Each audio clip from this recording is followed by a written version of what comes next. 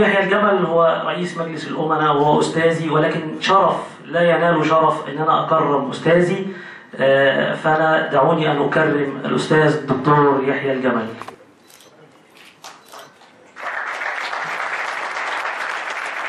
هو قادم بقوة آه، لا مجال ولا محال من ده. والتحكيم الدولي ده موجود بقاله فترة كبيرة يعني هو مش مش مش مش صنيعة اليوم أو حديثة اليوم يعني. بالعكس ده بقى موجود بقاله فترة كبيرة. التحكيم الدولي هو أصبح بمثابة اليد اليمنى للمستثمرين. يمكن زي ما كنت بقول جوه في كلمتي هو أصبح بمثابة اليد اليمنى للمستثمرين في العالم كله. لأن النهاردة الاستثمار هو يقال أو يقول أن رأس المال جبان وأنا أقول رأس المال ذكي يبحث عن الفرصة الأكثر ربحا والأقل مخاطرة. في ظل التغيرات السياسية وحتى في البلدان المستقرة سياسيا. هناك بعض التغيرات تحدث بعض التغيرات الاقتصادية بعض التغيرات السياسية. فلا بد من أن يكون هناك للمستثمر درع يؤمن يؤمنه ضد هذه الدولة ده أو بي- ضد بيساعد يعني طبعا هو التحكيم الدولي أمنياً. لا مش امنيا هو بيساعده في إن يعني هو بالظبط كده بالظبط يعني. يبث الطمأنينة للاستثمارات ال- الأجنبية داخل ودي الدولة. علمتنا حاجة إن التحك... آه... نظام التحكيم في المنازعات ما بين الأفراد أو ما بين الدول بيبقى أسهل وفي مدة أقل من التحكيم العادي اللي بياخد درجات تقاضي كبيرة. فعشان كده معظم الدول ومعظم الأفراد بيلتجئوا للتحكيم آه، فيما بينهم التجاري. وهو بيبقى معظمه في تحكيم تجاري أو تحكيم في الماليات بمعنى أصح آه، في ال- في الكلام ده. فعشان كده آه، أما اتعرض علينا الدورة دي دخلناها عشان نستفيد منها.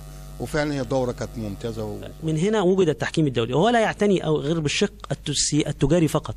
لا يعتني لا يعتني لا بالشق السياسي ولا بالشق الجنائي. فالتحكيم الدولي هو فقط في الشق التجاري. آه، عندنا قضايا كتير جدا جدا آه، في الفترة اللي فاتت أثيرت في قضايا التحكيم الدولي سواء في مصر أو على مثابة أو أو في العالم. يعني عندنا أكبر قضية حصلت كانت موجودة في آه، اللي هي قضية مايكروسوفت اللي هي قضية أبل وسامسونج. تمام؟ القضية الثانية اللي موجودة في الوطن العربي وأكبر قضية حصلت؟ كانت القضية ما بين الخرافي وبين الحكومة الليبية. وحكمت فيها محكمة الاستثمار في جامعة الدول العربية.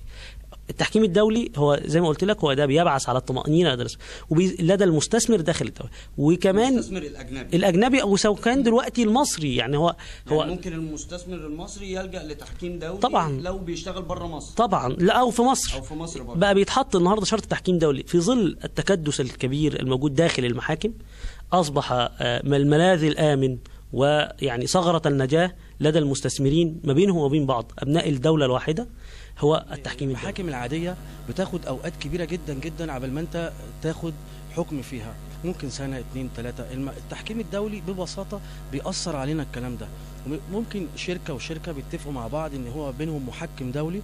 المحكم ده ممكن في وقت مختصر جدا يطلع بإيه؟ يطلع بالحكم بتاعه. وكمان هم بيتفقوا فيما بينهم على إيه؟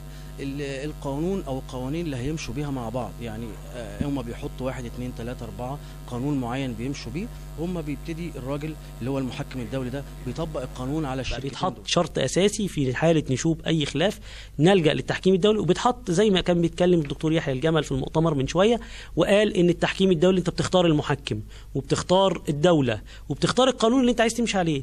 هو تحكيم هو قضاء اتفاقي. يعني هو ده بمثابة إن بيبقى انت عبارة عن عقد ولا بيبقى عبارة عن إيه مثلا هو اتفاق لو اتفق الطرفان في البداية في بداية العقد وهو في حين إبرام العقد على شرط التحكيم الدولي في حالة أنهم اتفقا في الجنسية هم نفس الجنسية مع بعض في داخل الدولة في الحالة ديت لابد أن يوضع شرط التحكيم الدولي في العقد طب إن لم يوضع في العقد لابد أن يتفق عليه الاثنان بعد إبرام العقد ويبقى حاجة ملحقة كتابة.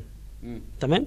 هو ده التحكيم الدولي. والنهارده يعني ال- المحاكم مكتظه بالقضايا وبتقعد فترات طويلة. يعني يعني ممكن يكون هناك قضية تجارية تتداول في المحاكم بعشرات السنين.